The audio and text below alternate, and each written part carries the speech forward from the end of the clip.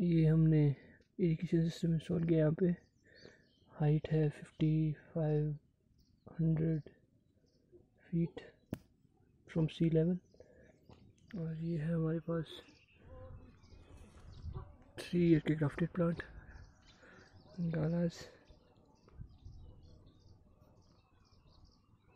बहुत अच्छी ग्रोथ आई है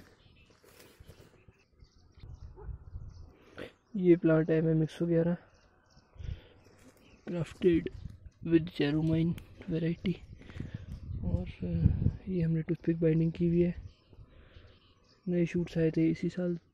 दोनों तो उनको बाइंड कर दिया हमने टूथपिक के साथ।